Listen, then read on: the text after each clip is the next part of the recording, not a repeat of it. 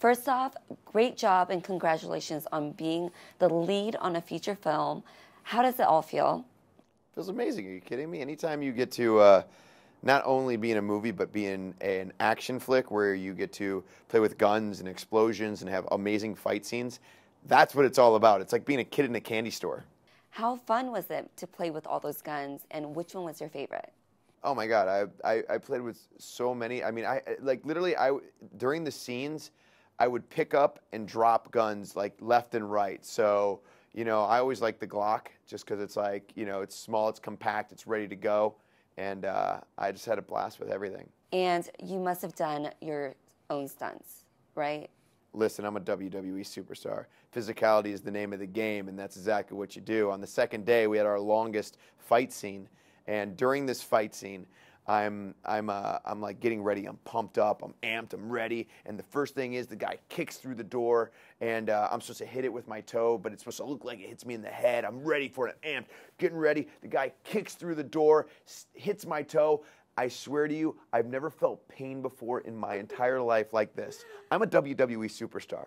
I've been hit with kendo sticks, chairs, been thrown through ladders. I've broken my nose. I've broken my ankle. I've never felt pain like when I stubbed my toe in the Marine 3 home front on the second day in the first scene, in the first scene of the day, and had to go through. But I went through the whole fight scene, and no problem.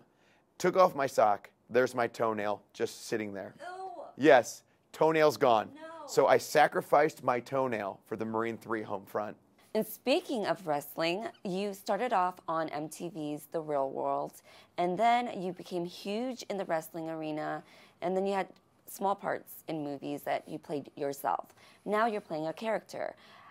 Did you have to do anything different, or how did you prepare for the role? It's amazing. I mean, well, in WWE, I'm the Miz. I'm the most cocky, arrogant, egotistical person I could possibly think of, which is the exact opposite of Jake Carter. I mean, my entire time in WWE, I've always played uh, the villain. I've never considered myself the villain, but everybody has booed me out of the building for the past seven years, so I guess I'm the bad guy.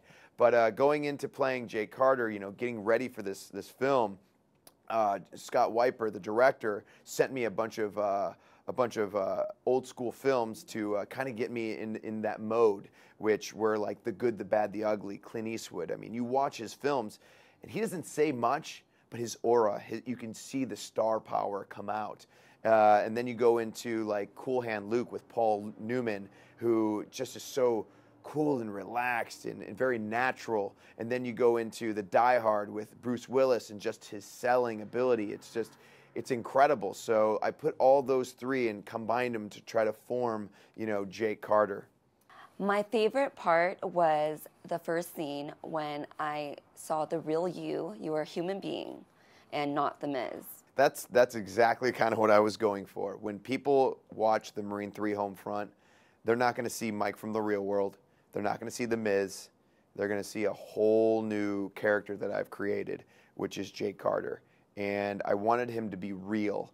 And you know, Scott Wiper was, you know, very hands-on and very, you know, we, we talked days in and days out about this character and how we wanted to play it, and we really wanted him to people to watch and go, I know a guy like that. He, he, seems so cool and collected, but we didn't want the Miz to be even be seen. As soon as you see me in the in the in the screen, you might go, "Oh, that's the Miz," but as soon as you hear me talk and walk, you forget about the Miz and you get wrapped up in the story that is with Jake Carter. So, what's coming up next for you?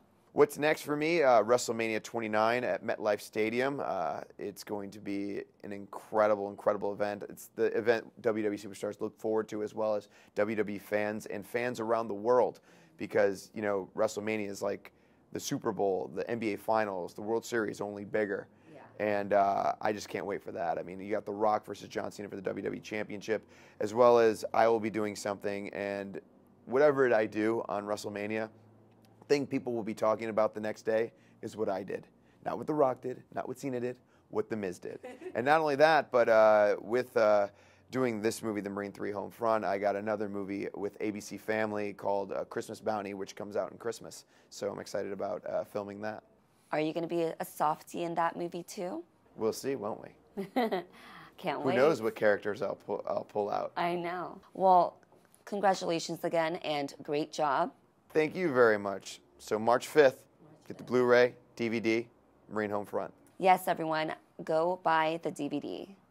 Vâng, Team Marine 3 Homefront với à, vừa rồi là cuộc nói chuyện đặc biệt của Christine Anker với The Miz. Cuốn phim này cũng do WWE Studios và 20th Century Fox Home Entertainment thực hiện và chắc chắn cuốn phim này là đầy action thưa quý vị từ đầu cho đến cuối. That's it. Đến đây thì chúng tôi xin trân trọng kính chào tạm biệt tất cả quý vị khán thính giả. Cảm ơn quý vị rất là nhiều đã theo dõi chương trình ngày hôm nay và xin kính chúc tất cả quý vị có một ngày thật là hạnh phúc và bình an.